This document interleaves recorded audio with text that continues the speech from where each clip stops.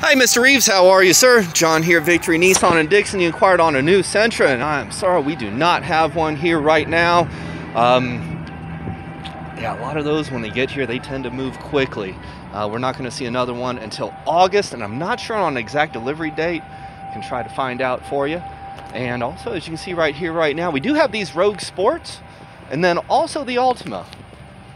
We are going up a little bit in budget here with the Altima, especially depending on you know whether it's an SL like this one with a lot of bells and whistles and features, or uh, one of um, base model, maybe the SV. But yes, sir, wanted to see what else you might be open to. We have some pre-owned options as well.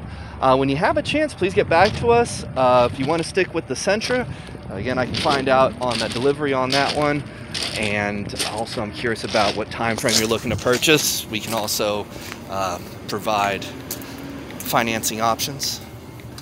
Sorry, my tongue got tied a little bit. I saw that there. Someone got a boo-boo. anyway, sir, we got some options here. When you have a chance, please get back to us. Be glad to answer any questions, provide any information.